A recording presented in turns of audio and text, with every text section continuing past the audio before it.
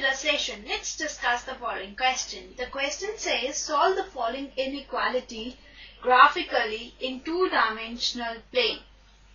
x is greater than minus 3. Before solving this question, we should know that a line divides the Cartesian plane into two half planes and the graph of inequality will be one of the half planes and we shall show the solution by shading in the corresponding half plane. We shall follow the following rules to identify the half plane represented by an inequality. According to the first rule, we have to take any point AB not on the line and then we have to check whether it satisfies the inequality or not. If that point satisfies the inequality, then the inequality represents that particular half plane containing the point. But if the point does not satisfy the inequality, then the other half plane represents the solution. According to the second rule, if sign of equality is also there with the inequality, then the line is included in the solution region and so we draw a dark line in the solution region. And according to the last rule, if we have a pure inequality, then the points on the corresponding line are not included in the solution region and so we draw a dotted line. With the help of these three rules, we will solve this question, so always remember these rules. Let's now begin with the solution. Given inequality is x is greater than minus 3. Now converting this inequality into equation, we get x is equal to minus 3. Now the two solutions of this equation are minus 3 0 and minus 3, 3. Now we will plot these two solutions on the graph. So let's make a graph now.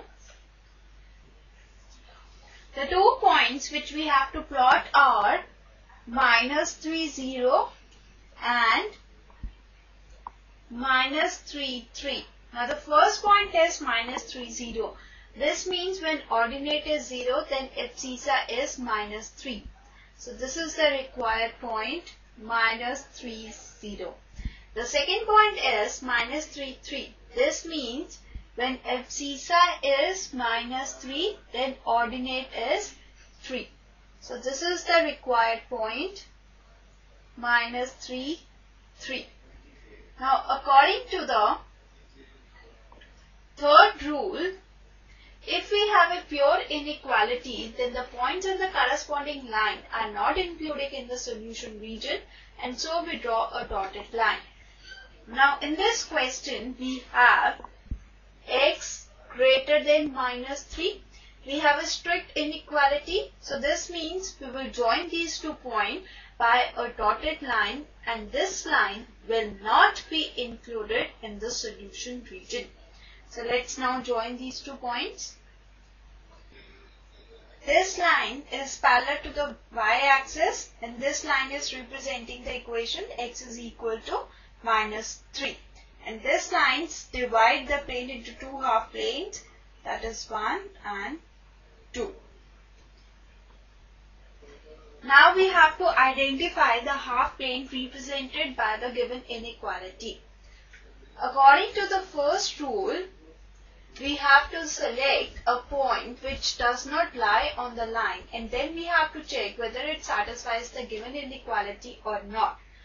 If this point satisfies the given inequality, then the inequality represents that particular half plane containing the point. But if the point does not satisfy the inequality, then the other half plane, that means the plane which does not contain the point, represents the solution.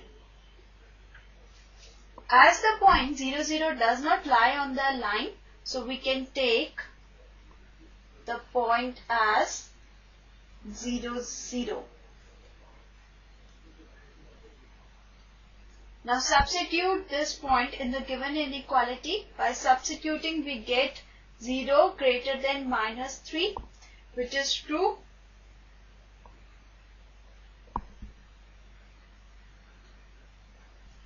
Hence,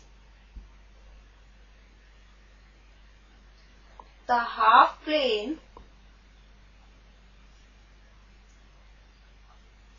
containing 0 0 represents the inequality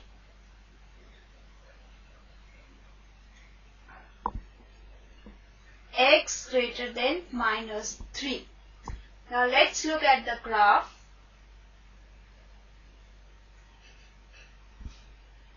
First half plane consists of point 0, 0. So this means the solution region of the given inequality consists of first half plane and since we have a strict inequality so this line will not be included. Let's now shade this region.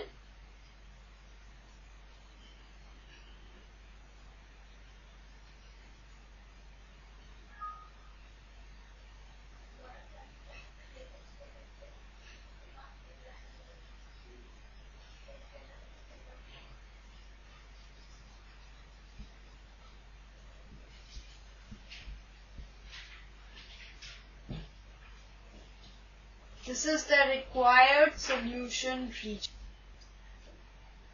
So,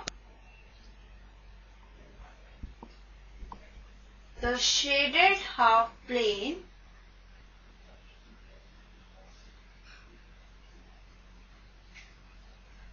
first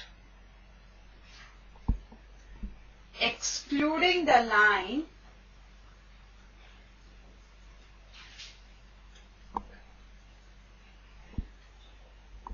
is the required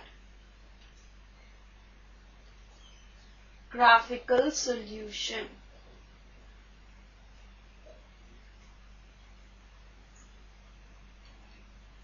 This is our required answer. So this completes the session. Bye and take care.